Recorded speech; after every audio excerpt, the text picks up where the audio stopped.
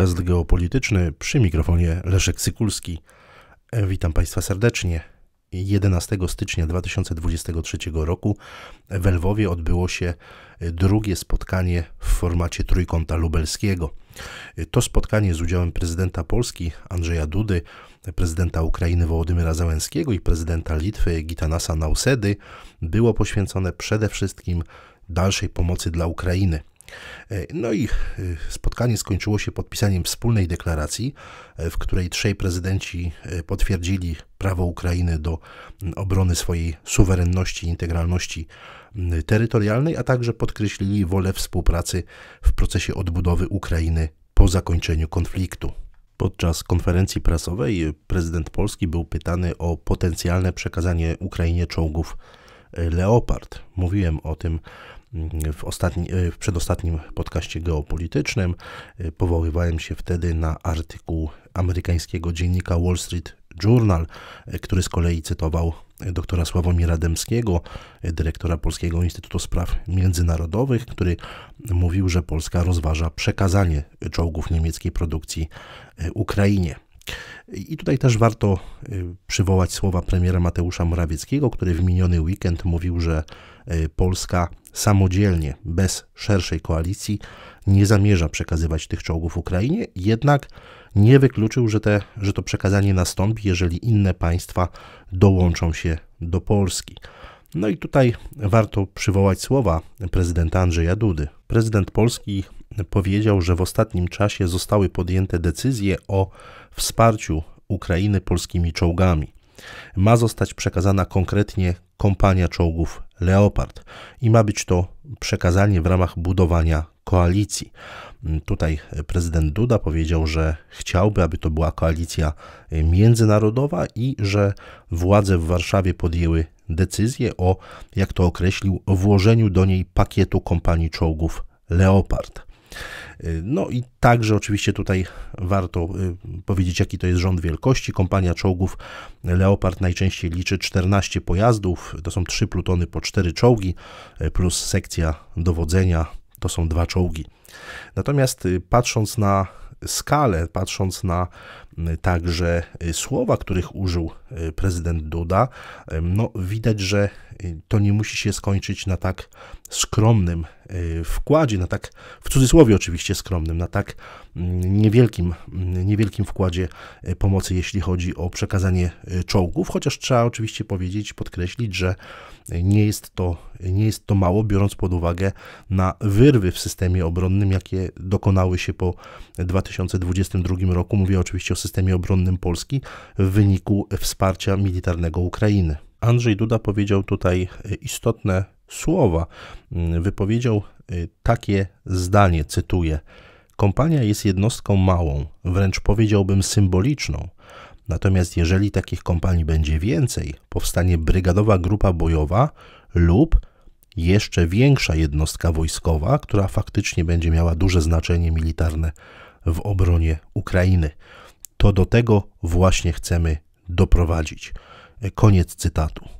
Widać w tej wypowiedzi znacznie szerszą perspektywę i myślę, że te słowa, które przytoczył dziennik Wall Street Journal, słowa prezesa Polskiego Instytutu Spraw Międzynarodowych Sławomira Dębskiego, mówiącego o tym, że to wsparcie miałoby być znacznie większe ze strony Polski, wcale nie jest przekreślone. Widać tutaj zresztą po tych słowach prezydenta Dudy w Lwowie, że jest to dopiero taki pierwszy etap te, tych kilkanaście pojazdów, to ma być dopiero pierwszy etap tego, tej, tej pomocy.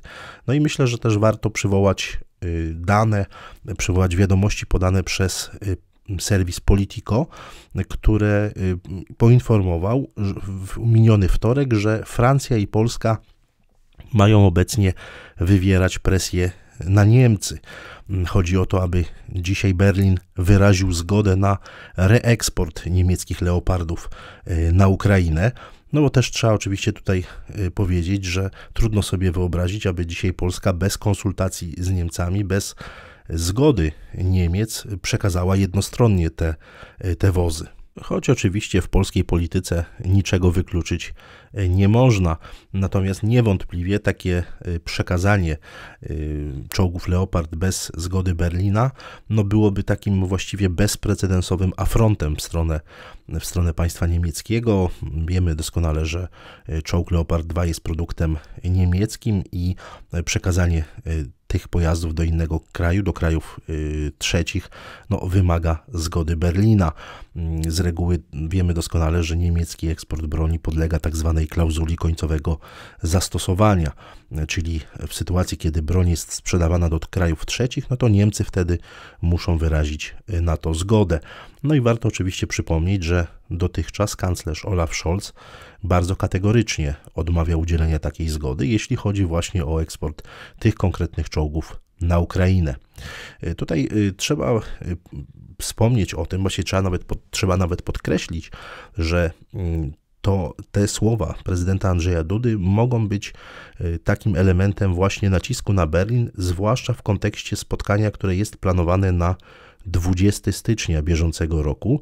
Ma być to mm, spotkanie członków tak zwanej grupy kontaktowej do spraw y, Ukrainy. To spotkanie zostało zwołane przez sekretarza obrony Stanów Zjednoczonych Lloyda Austina. Ma się odbyć w Niemczech, w bazie lotniczej Ramstein y, w Nadrenii Palatynacie. Spotkanie to ma na celu omówienie dalszej pomocy zbrojeniowej dla y, Ukrainy i też mm, ważne jest, kto wchodzi w skład tej grupy kontaktowej. Oprócz Stanów Zjednoczonych, także Polska, Niemcy i Wielka Brytania. I tutaj oczywiście ta, to twierdzenie, że y, rząd w Warszawie chce budować presję przed spotkaniem w Ramstein, jest moim zdaniem zgodne z prawdą, przy czym warto dodać, że nie jest to moim zdaniem samodzielna decyzja decydentów w Warszawie. Myślę, że tutaj bardzo istotny jest element szerszej rozgrywki, którą prowadzą Stany Zjednoczone. No, kanclerz Olaf Scholz ma do wyboru tak naprawdę jedną z trzech opcji. Po pierwsze, może y, trzymać się starego kursu, czyli po prostu kursu niechętnego wobec dostaw, powiedzieć twarde nie. Natomiast to oczywiście z punktu widzenia y, wszystkich działań, takich powiedzielibyśmy PR-owych, komunikacyjnych, do których są zdolni Amerykanie, mogłoby się odbić bardzo negatywnie na, na pozycji Niemiec. Natomiast y, druga opcja to jest, y, no, można powiedzieć, włączenie zielonego światła dla dostaw leopardów, ale ze strony innych państw. No i wreszcie trzecia opcja, y, opcja, w której Niemcy mogłyby przystąpić do tej szeroko pojętej koalicji, która dostarcza uzbrojenie na Ukrainę i dostarczać czołgi ze swoich, ze swoich zapasów. W mojej ocenie rząd PiSu, rząd Prawa i Sprawiedliwości dzisiaj e, gra dosyć e, ostro, jeśli chodzi o Niemcy. Doskonale e, tutaj politycy tej partii zdają sobie sprawę, że w tym roku trwa kampania wyborcza, a Mm, postawa częściowo wroga wobec Niemiec wcale nie przeszkodzi tej partii, na pewno nie zaszkodzi w sondażach. Natomiast mm, myślę, że istnieje obawy, obawa wśród decydentów w Warszawie, że jednostronne przekazanie większej partii z blisko 250 posiadanych przez Polskę czołgów Leopard jednak wywołałoby Mm, sprzeciw opinii publicznej. W związku z tym jednak uzyskanie takiego, takiej zgody ze strony Niemiec